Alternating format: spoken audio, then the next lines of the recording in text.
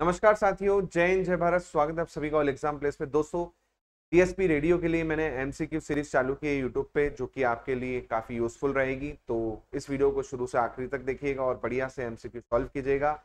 और अच्छा लगे तो लाइक कीजिएगा शेयर कीजिएगा और नए चैनल पे सब्सक्राइब कीजिएगा। उसके पहले दोस्तों, आप हमारा ऐप डाउनलोड कर सकते हैं, जहाँ पर आपको मिलेंगे बहुत सारे कोर्सेस टीएसपी रेडियो का भी कोर्स चल रहा है, जो कि भारी भरकम छूट पे चल रहा है। जी हाँ अभी डीएसपी रेडियो के कोर्स में पच्चीस सौ रुपए में आपको कंप्लीट कोर्स मिल रहा है। टेक्निकल प्लस नॉन टेक्निकल जिसमें MCQ test series, video lecture PDF सब कुछ इंक्लूड रहेगा। तो अभी जाके आप क्या कर सकते हैं परचेस कर सकते हैं। और इस नंबर पे आप कॉल कर सकते हैं nine eight zero six double eight three six double eight पे और अभी कोर्स को परचेस कर सकते हैं। इसके साथ साथ दोस्तों, आपको कोई डाउट लगता है रिगार्डिंग कोर्स या फिर कोई क्वेश्चन में तो आप मुझे व्हाट्सअप भी कर सकते हैं, आप मुझे फेसबुक इंस्टाग्राम पे भी फॉलो कर सकते हैं। चलिए तो अब हम यहाँ से क्वेश्चन डिस्कस करना शुरू करते हैं। अगला प्रश्न देखिए प्यारे साथियों। अगला प्रश्न देखते हैं कि अपर गोंडवाना शैल समूह, अपर गोंडवाना शैल समूह को सतपुड़ा क्षेत्र में किस नाम से पुकारा जाता है? तो चौगान, जबलपुर स्तर, आ एवं बा दोनों या फिर इनमें से कोई नहीं। तो यहाँ पर क्वेश्चन पूछ रहा है by what name is the upper Gondwana rock group called in the Satpura region Chaugan Jabalpur level both A and B none of this तो मध्य प्रदेश जो है, जैसा कि पिछली क्लास में हमने देखा, हमारा मध्य प्रदेश जो है गोंडवाना सेल समूह का हिस्सा है। तो लोअर गोंडवाना सेल समूह में इसको जो है, क्या किया गया है? वर्गीकृत किया गया है, इसको डिवाइड किया गया है। ये सेल समूह प्रदेश को दो क्षेत्रों यथा सतपुड़ा तथा बघेलखंड के पठार में जो है बांटाता है। सतपुड़ा क्षेत्र में अपर गोंडवाना सेल समूह को चौगान तथा जबलपुर स्तर के नाम से जाना जाता है। किस नाम से जाना जाता है? चौगान और जबलपुर स्तर के नाम से इसको यहाँ पर जाना जाता है सतपुड़ा क्षेत्र में, जो हमारी अपर गोंडवाना की क्या है? शैल समूह है या रॉक समूह है। ठीक है? तो करेक्ट आंसर हमारा क्या हो जाएगा यहाँ पर? ये हो जाएगा ए और बी दोनों। बोथ ए एंड बी इसका करेक्ट आंसर हो जाएगा। अगला प्रश्न है हमारा, निम्न में से किसमें जबेरा का गुंबद? तो जबेरा का नाम सुना होगा आपने। जबेरा जो है, ये कहाँ पर पड़ता है? ये पड़ता है हमारे दमोह में। कहाँ पर? दमोह वाला जो रीजन है, यहाँ पर जो है हमारा दमोह पड़ता है। और यहीं पर जो है, जबेरा आपकी जो है, एक कौन हमारी जो है, विधानसभा भी है। ठीक है? तो जबेरा जो है, इसकी अगर हम बात करें तो जबेरा का गुंबद जो है हमारा ये मध्य उच्च प्रदेश के में जो है आता है। पाँच भागों में बांटा गया है। हमने पढ़ा वहाँ पर उस दिन। मध्य उच्च प्रदेश हो गया। सतपुड़ा का पठार हो गया। नर्मदा पठार हो गया। इसके बाद बंगे बघेलखंड का पठार हो गया। बुंदेलखंड का पठार हो गया। इन सभी पठारों में बांटा गया है पाँच पठारों में। इन्हीं में से एक कगार भूमि विंध्यन स्कॉटलैंड है। भांडेर पठार से दक्षिण की ओर चलने पर जबेरा का गुंबद मिलता है। कहाँ से? जो भांडेर का पठार है, उससे जब आप दक्षिण की ओर आएँगे, नीचे की तरफ़ आएँगे तो आपको यहाँ पर क्या मिलेगा? यहाँ पर जबीरा का गुंबद मिलेगा। और अगर हम इस गुंबद की बात करें तो लगभग 29 किलोमीटर 29 किलोमीटर लंबा है और 13 किलोमीटर जो है, ये चौड़ा है। यहाँ पर इसकी चौड़ाई है जबेरा के गुंबद की। किसकी? जबेरा के गुंबद की। अगला प्रश्न है हमारा। अविभाजित मध्य प्रदेश कितने प्राकृतिक भागों में बटा हुआ था। अब ये यहाँ पर अविभाजित मध्य प्रदेश की बात कर रहा है, यानी उस मध्य प्रदेश की बात कर रहा है जिसकी सीमाएँ यथा सात राज्यों को स्पर्श करती थी। किसको? सात राज्यों को स्पर्श करती थी। जैसा कि हमने अपने पिछले क्वेश्चंस में देखा कि अभी हमने देखा पाँच में लगती है। तो ये आपका यूपी हो गया, गुजरात हो गया, महाराष्ट्र हो गया इसके अलावा आपका जो है राजस्थान हो गया, फिर हमारा आंध्र प्रदेश हो गया। आंध्र प्रदेश के अलावा हमारा क्या हो गया? ओडिशा हो गया। और ओडिशा के अलावा हमारा क्या हो गया? बिहार हो गया। तो इन सात राज्यों को हमारे मध्य प्रदेश की सीमा जो है, ये विभाजन से पहले स्पर्श करती थी। तो ये पूछ रहा है कि अविभाजित मध्य प्रदेश कितने प्राकृतिक भागों में बटा हुआ था? तो इसका करेक्ट आंसर हमारा क्या हो जाएगा? ये हो जाएगा सात। क्या हो जाएगा? सात हो जाएगा। ठीक है? तो 2000 में मध्य प्रदेश का विभाजन कर नया राज्य क्या बनाया गया? छत्तीसगढ़। विभाजन से पूर्व मध्य प्रदेश नौ प्राकृतिक भागों में बटा हुआ था। अगर वर्तमान की बात करें तो अब सात है। यथा मध्य भारत का पठार, बुंदेलखंड का पठार, मालवा का पठार, रीवा पन्ना का पठार, नर्मदा सोन की घाटी, सतपुड़ा मैकल की श्रेणी हो गई और बघेलखंड का पठार इन भागों में जो है बटा हुआ था। ठीक है? तो मध्य भारत का पठार, बुंदेलखंड का पठार मालवा का पठार, रीवा, पन्ना, नर्मदा सोन घाटी सतपुड़ा, मैकल श्रेणी तथा बघेलखंड का पठार इन प्राकृतिक प्रभागों में जो है अभी हमारा मध्य प्रदेश क्या है? बटा हुआ है। वहीं अगर हम बात करें अविभाजित मध्य प्रदेश की तो ये जो है नौ प्राकृतिक प्रदेशों में बटा हुआ था, प्राकृतिक प्रभागों में बटा हुआ था। करेक्ट आंसर हमारा क्या हो जाएगा? नाइन हो जाएगा, यानी कि सी हो जाएगा। चले, अगला प्रश्न देखते हैं।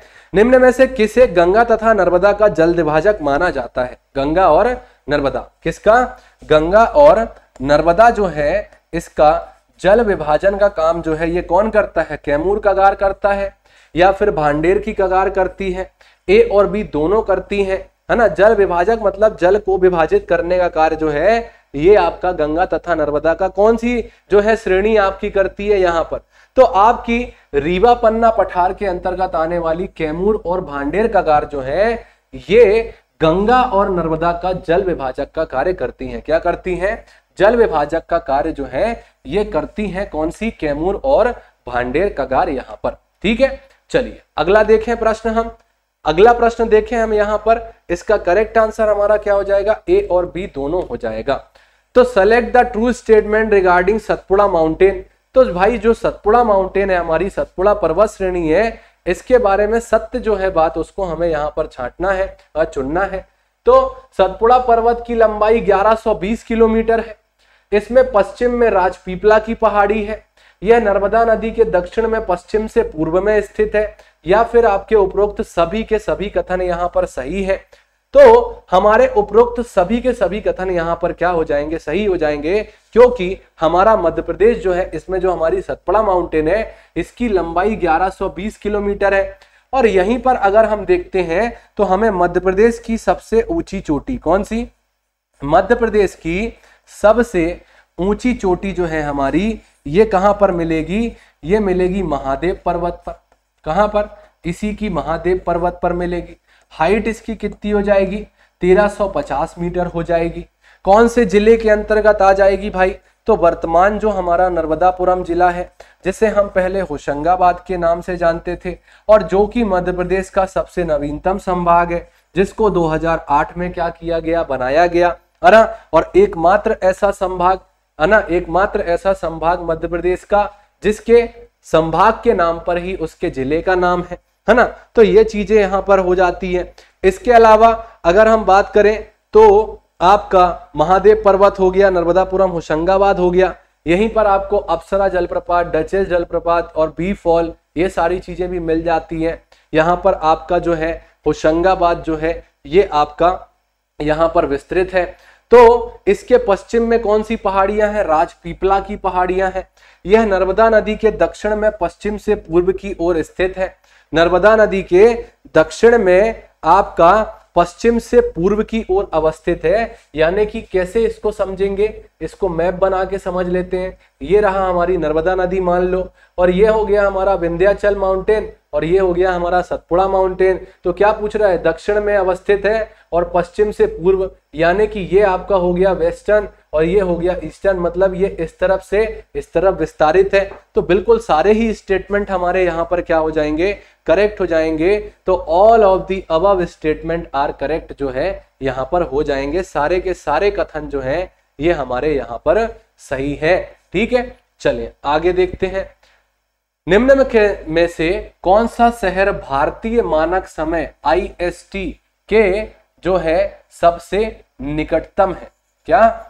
आईएसटी यानी कि इंडियन स्टैंडर्ड टाइम जो होता है इसके सबसे निकट में है, सबसे पास में है तो मैंने आपको बताया था। जैसे, हमारा जो देश है, इसमें हमने किसको? साढ़े बयासी डिग्री मतलब साढ़े बयासी डिग्री जो रेखा है, इसको हमने क्या माना हुआ है? इसी से हम अपने भारत देश का समय जो है, क्या करते हैं? ये हमारा मानक समय है। और मैंने आपको क्या बताया? मैंने आपको बताया, हमारा मध्य प्रदेश जो है, इसकी भौगोलिक स्थिति क्या है? 216 216 छब्बीस तीस, चौहत्तर ज़ीरो नौ, बयासी अड़तालीस। क्या है बयासी अड़तालीस? तो अब अगर मैं बात करूँ हमारा मध्य प्रदेश जो है, इसके अगर मैं देशांतरी विस्तार की बात करूँ तो जो यहाँ से सबसे पास में आ रहा होगा वही वाला जिला होगा। यहाँ पर जो पास में आ रहा होगा वही जिला होगा। तो होशंगाबाद कहाँ पर है? होशंगाबाद हमारा यहाँ पर है। उज्जैन जो है वो हमारा कहाँ पर है? यहाँ पर है। इसके अलावा सागर जो है हमारा यहाँ पर है। लेकिन रीवा की अगर हम बात करें तो वो हमारे बघेलखंड वाले क्षेत्र में है। तो सबसे पास में कौन सा हो जाएगा? ये हमारा रीवा हो जाएगा। तो इसका करेक्ट आंसर हमारा क्या हो जाएगा? ए हो जाएगा, यानी कि रीवा हो जाएगा। साढ़े बयासी डिग्री जो है, आपका इलाहाबाद में है। और मध्य प्रदेश की भौगोलिक स्थिति अगर हम उत्तरी अक्षांत तो बात करें तो पूर्वी देशांतर की बात करें तो इस स्थिति के अनुसार मध्य प्रदेश रीवा का सबसे, या फिर रीवा जो है ये मध्य प्रदेश का, या भारतीय मानक समय जो हमारा रेखा है, इसका क्या है? सबसे निकटतम है, सबसे पास में है। ठीक है? चलो नेक्स्ट क्वेश्चन देखते हैं।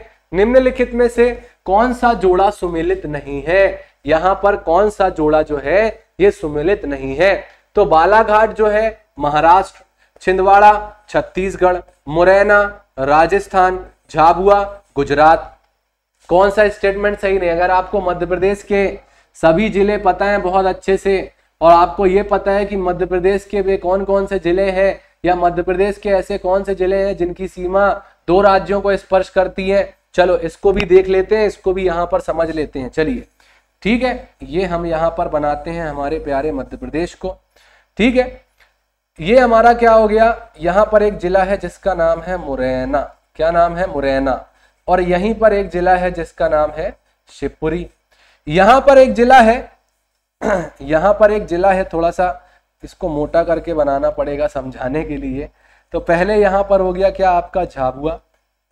और यहाँ पर इसी के नीचे है क्या? अलीराजपुर। क्या है? अलीराजपुर। और यहाँ पर क्या हो गया? यहाँ पर हमारा हो गया बालाघाट। क्या हो गया? बालाघाट हो गया, ठीक है? तो मुरैना जो है, इसकी सीमा दो राज्यों को लगती है। यहाँ से यूपी को लग गई, यहाँ से राजस्थान को लग गई। शिवपुरी जो है, यहाँ से यूपी को लग गई, यहाँ से राजस्थान को लग गई। फिर हमारा जो झाबुआ जिला है, इसकी सीमा राजस्थान से लग गई और गुजरात से लग गई।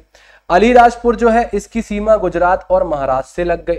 बालाघाट जो है, इसकी सीमा हमारी महाराष्ट्र और इधर छत्तीसगढ़ से लग गई। है ना? तो इस तरीके से जब हम पढ़ते हैं, इस तरीके से जब हम देखते हैं, हम जो है चीज़ों को जो है बहुत अच्छे से समझते हैं कि भाई इस मैप को हम बहुत अच्छे से समझेंगे तो हमारे आंसर करेक्ट होंगे। अब मिलाते हैं हम। तो बालाघाट महाराष्ट्र बिल्कुल ठीक है। छिंदवाड़ा जो है छत्तीसगढ़। मुरैना जो है राजस्थान से लगती है। झाबुआ जो है ये आपकी कहाँ से गुजरात से लगती है? मतलब इसका आंसर कौन सा हो जाएगा? इसका आंसर क्या हो जाएगा? बी हो जाएगा। यानी कि जो आपका छिंदवाड़ा है, इसकी सीमा थोड़ी लग रही है छत्तीसगढ़ को। भाई, ये तो आपका नीचे नीचे छिंदवाड़ा जो है महाराष्ट्र को लग रही है, ना कि छत्तीसगढ़ को लग रही है, बालाघाट की लग रही है। क्योंकि छिंदवाड़ा ज़िले की सीमा जो है, छत्तीसगढ़ को नहीं छूती है, बल्कि महाराष्ट्र को छूती है। इसलिए से सभी जोड़े क्या है यहाँ पर? सही हो जाएँगे। तो इस प्रकार से हमने पढ़ा और हमको अगर याद है कि मध्य प्रदेश के ऐसे कौन कौन से ज़िले हैं जिनकी सीमा दो राज्यों को स्पर्श करती है तो ये भी आपको बहुत अच्छे से पता होना चाहिए। अगला प्रश्न हम देखते हैं और समझते हैं हमारा अगला प्रश्न जो है हमसे क्या पूछ रहा है। ये पूछ रहा है कि मध्य प्रदेश का क्षेत्रफल कितना है भाई? मध्य प्रदेश का क्षेत्रफल। अब मध्य प्रदेश के क्षेत्रफल की बात तो करना ही है, लेकिन हमने कई बुकों में पढ़ा है कि मध्य प्रदेश का क्षेत्रफल तीन लाख आठ हज़ार दो सौ बावन किलोमीटर है, या वर्ग किलोमीटर है। माफ़ी चाहूँगा। ठीक है, और कई बुकों में हमने पढ़ा है कि मध्य प्रदेश का क्षेत्रफल तीन लाख आठ हज़ार दो सौ पैतालीस वर्ग किलोमीटर है। तो भाई ये क्यों? वाई ऐसा क्यों होता है? ऐसा अलग अलग डेटा क्यों दिया गया है? देखिए, इसके पीछे का मैं कारण आज आपको बताए देता हूँ। आप सभी को पता है, एक नवंबर सन 2000 क्या? एक नवंबर सन 2000 मध्य प्रदेश जो है, इसका विभाजन हो गया, एक नया जिला, एक नया राज्य बन गया, जिसे हम छत्तीसगढ़ के नाम से जानते हैं। तो जब छत्तीसगढ़ के साथ में हमारा विभाजन हुआ तो एक वैली है, जिसे हम किरार घाटी वैली बोलते हैं। क्या बोलते हैं? किरार घाटी वैली बोलते हैं एमपीपीएससी का पूछा गया आपका ये क्वेश्चन है कि किरार घाटी विवाद जो है, ये मध्य प्रदेश और किस राज्य के बीच में है? तो मध्य प्रदेश और छत्तीसगढ़ के बीच में ये सात वर्ग किलोमीटर का कौन सा? सात वर्ग किलोमीटर का किरार घाटी डिस्प्यूट है। इसी वजह से कई बुकों में हमें क्या मिलता है? मध्य प्रदेश का जो क्षेत्रफल है, ये तीन लाख आठ हज़ार दो सौ बावन मिलता है, कहीं तीन लाख आठ हज़ार दो सौ पैतालीस मिलता है। ठीक है? चलिए और भारत का कितना है तो बत्तीस लाख सतासी हज़ार दो सौ तिरसठ वर्ग किलोमीटर। ये हमारे भारत का क्षेत्रफल है। मध्य प्रदेश इसका कितना नौ दशमलव तीन आठ प्रतिशत जो है, इसको क्या करता है? ऑक्यूपाई करता है। तो ये सारी चीज़ें भी हमें याद रखनी है।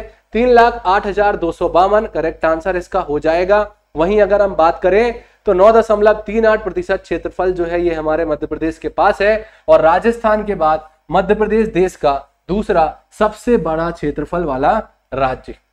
ठीक है, अगला प्रश्न देखते हैं। मध्य भारत का पठार प्रदेश के कितने प्रतिशत भागों में विस्तृत है? अब देखिए, ये क्वेश्चन जो है, ये क्वेश्चन आपसे यहाँ पर टफ हो गया। यहाँ पर क्वेश्चन अब आपसे ये पूछ रहा है कि जो मध्य भारत का पठार है, इसके पास कितने प्रतिशत एरिया है?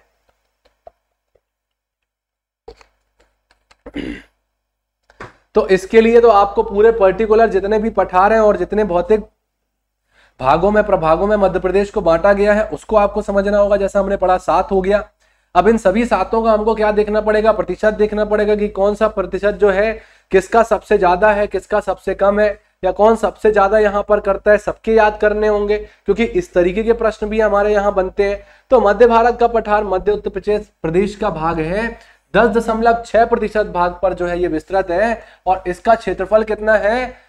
बत्तीस हज़ार आठ सौ छियानवे वर्ग किलोमीटर। कितना है? बत्तीस हज़ार आठ सौ छियानवे वर्ग किलोमीटर जो है, ये क्या है? इसका क्षेत्रफल है। तो करेक्ट आंसर हो जाएगा दस दशमलव छह प्रतिशत। कितना हो जाएगा? दस दशमलव छह प्रतिशत जो है, ये इसका करेक्ट आंसर हो जाएगा। सही उत्तर ये हमारा हो जाएगा। अगला प्रश्न देखते हैं प्यारे साथियों। अगला प्रश्न हमसे क्या पूछ रहा है? अगला प्रश्न यहाँ पर हमसे पूछ रहा है कि मध्य भारत के पठार के अंतर्गत निम्न में से कौन सा जिला शामिल नहीं है? मध्य भारत की बात कर रहा है और यह पूछ रहा है कि कौन सा जिला इसमें शामिल नहीं है? तो इंदौर नहीं है, भिंड नहीं है, ग्वालियर नहीं है, शिवपुरी नहीं है।